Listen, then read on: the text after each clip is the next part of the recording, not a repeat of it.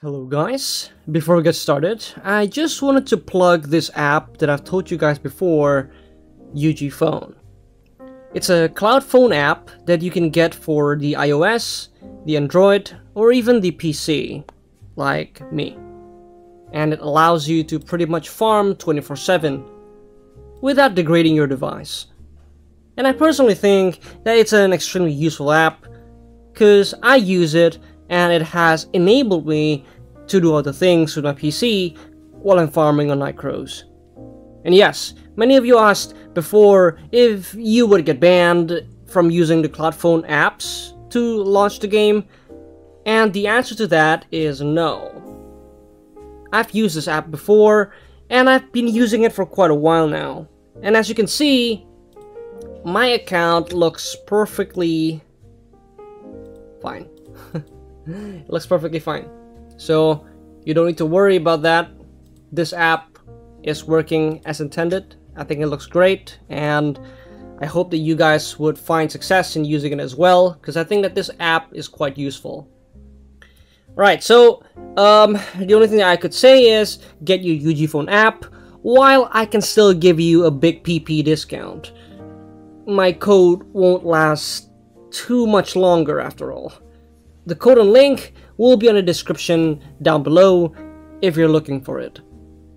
Anywho, that's it for the plug. Let's get on with the video. Daggers. Alright. Daggers is primarily a pure critical type melee class. It's got the best critical growth, out of any class and is further enhanced by its passives that support the critical hit element of its skills. Now, if you see here, this class got crit, crit and crit damage as a base default. This is not in any other class. If you realize, no other class have an innate crit buildup or crit growth except for this class. So this class is special in that way. Right? Daggers are also often called rogues or assassins, and they do play the part. However, I think there's a lot to say about what the class could actually do. So, let's answer the question, how good are daggers? Actually. Let's start with the pros. The Dagger class has arguably the single most purely offensive kit. Alright? With a total of 4 skills that enhances simply just critical hits. As you can see here. Increase critical hit, increase critical hit, and there's actually quite a bit more. I forgot which one. I think it's over uh, here. This was for PvP.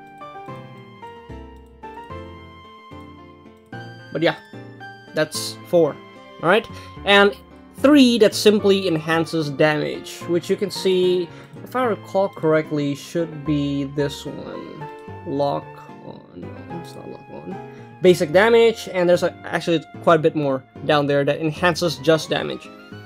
The Dagger class also has a bunch of extremely powerful debuffs in the form of poison that slows movement speed, which you can see over here. Poison okay? This reduces critical hit resistance and movement speed, so it slows people down. It's a slow, and it makes them more, more susceptible to crits. This allows you to constantly stay on their ass, because you slow them down, and making them weaker to critical hits more often. Few of the more interesting ones that I found out about this class is its inherent ability to go invisible in the form of Shadow Curtain, which will be this one. Alright? This basically makes you invis. now, this skill is actually quite sick, as invisibles tend to be kind of broken in other MMOs. It's hard not to believe that it'll go the same way here in Nightcrows.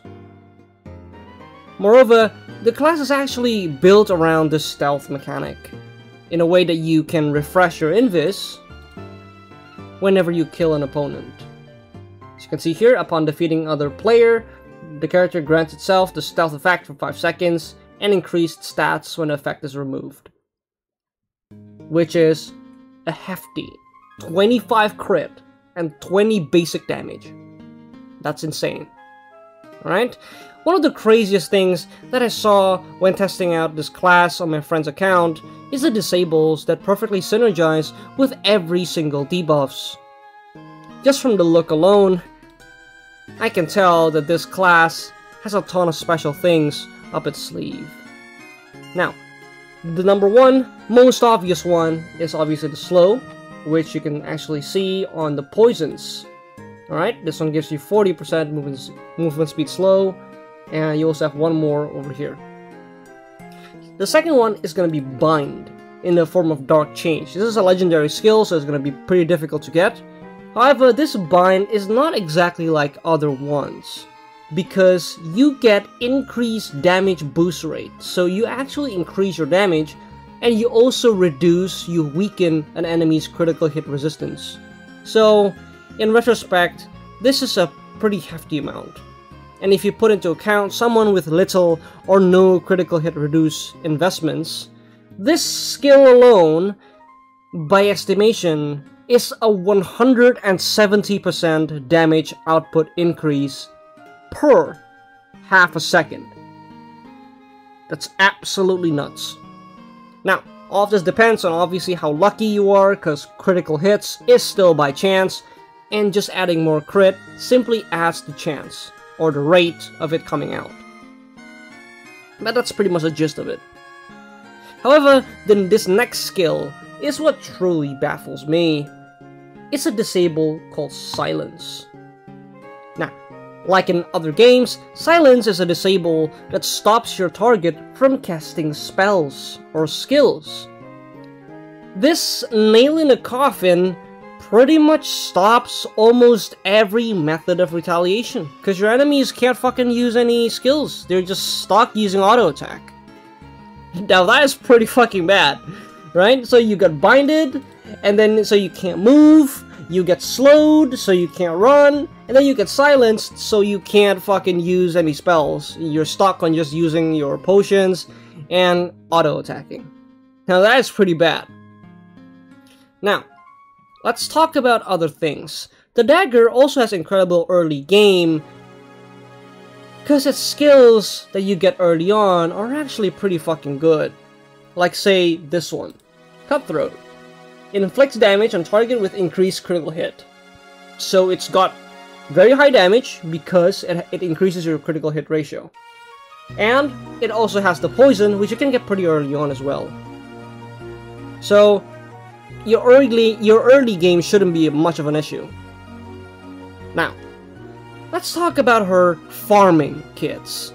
The class has incredible attack speed, so it hits very fast, and due to the innate crit, it actually deals a lot of damage, which is actually quite insane. So this class actually farms very quickly. And from a lot of sources that I see from my friends that are playing on the Korean server, they did tell me that this class is arguably one of the best farmer in the game.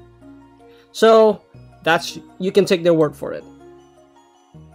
Now, for class matchups, this class excels in blowing up soft classes that couldn't run away from you. Classes like, say, the, the bows, the mages, or the clerics.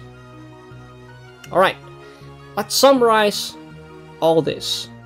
This assassin is built with a ton of critical and bonus damage. It can poison you, giving you crit, giving you crit weakness, binds you so you can't move, and silences you on the process so you can't fight back. And the worst about the worst part about this is that you can't ever see it coming as she has stealth and so she's invisible. So all this could happen in an instant and without warning. An absolutely insane class, probably built to kill pretty much players. But well, as beautiful as this waltz is, the cons are honestly quite terrible too. The dagger class is the softest melee class. As you can see here, very low vitality. It's got terrible vitality. Very, very bad. Alright? Only 23. And this is its final ascension. it's it's a very soft class, guys. It's very, very soft. Moreover, it's got absolutely no defensive kit. As you can see here, everything is just damage, damage, damage, or whatever that actually adds that damage. Like the silence, it, it's not exactly damage, but it's it enables more damage to be pumped in. You feel me? So this class is just purely attack. There is absolutely no defensive kit whatsoever that's worth mentioning, aside from like the basic starting passives, like say physical reinforcement, which is like 4 defense. That's about it. Alright? To add further, this class has terrible attack range. From just the start of the testing alone, I can already tell that this class got the absolute worst attack range out of any class. Yes, worse than even the twin sword. Like this is attack range here. You see that? There's a gap between me and the target. I have to stand like over here when I'm using the daggers. The attack range is absolutely terrible. It's actually so bad. It's not it's not a joke. Alright? It's not a joke. So, if your invisible plays did not go as planned, and it goes on cooldown at the wrong time, you'd be so easily kited around and die a quick and painful, pathetic death. And with absolutely no bulk, you will die in seconds, for sure. Now, the final bit would probably be something that I only realized after a long period of testing in between different level mobs and remote PvP with a friend in which I was able to see the damage that I'm dealing to him. The dagger, in spite of having huge amounts of crit growth and crit damage growth, and crit scaling pretty much on, on its skills, it's actually got a very terrible basic damage. If you see here, its basic damage is absolutely terrible. Comparing it to say the bow which has like 23, this only has 15 comparing it to like the wizard has 20 so this actually has terrible base base power. The base attack is is terrible. So you kind of don't have a choice. You have to land your crit. You have to get lucky with crits or you'll have no damage. That's literally how bad it is okay so if you're against like classes with like a ton of like crit reduce like or, or blocks it's gonna be pretty bad because this class doesn't have pierce at all. It doesn't have pierce. I actually looked very far trying to look at maybe it's got some additional weapon elements once it's once you level up your weapon proficiency and all that. But it turns out it just doesn't. It just doesn't have any pierce. So if you get if you're fighting like say knights or twin swords, it's gonna be quite hard to deal with. Alright? Now, it's got terrible base attack. So yeah, this thing has the base power just as bad as a twin sword. It's equally as bad. So you need to land those crits. Otherwise, it's boo-boo. Okay? To summarize, this class is very soft. As you can see. If your stealth isn't executed perfectly, or you get into a sticky situation like being surrounded by players, well, you will just explode and die. So, yeah. Classes that has innate crit resist or a ton of guard will be a problem, so try to avoid classes like, say, Knights. This is gonna be the bane of your existence, has a ton of block, and so much fucking reduce. You can't kill this thing, so don't even bother trying. Alright? Classes like the Knight or Twin Swords could be a bad match for the daggers. So if you're a dagger, don't do it. Just run away from those people. You get the hunters instead. You get the bows, you get the mages, you get the clerics. Forget about this one. You're not gonna win. So just, just, just leave. Unless you're a whale. If you're a whale, then fuck it. Alright? Alright. Now that's pretty much all that I got for you guys today about the daggers. Do I think that the class is good? Well, yes. I think that the dagger is a classic assassin class on MMOs.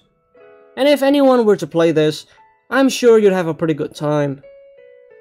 The class has a ton of ups and very little downs, making it a good class compared to some others. Mm-hmm. I think the skill is interesting. I think it's also quite flashy. There's just one downside that's pretty fatal for me. The default boob size is the smallest. It's not big, guys. It's just the armor. and I can't change that. So, yeah, I'm not playing this. and that's it! What do you guys think about the Dagger class? Let me know what you think on the comment section down below. And let me know what class I should do next. I'm only planning on making two more Nightcrows videos before I move on to a different game, so please do make it count. And that's it from me. And I'll see you guys again on the next one. This is your Uncle Bigfish. Have a nice day. Bye.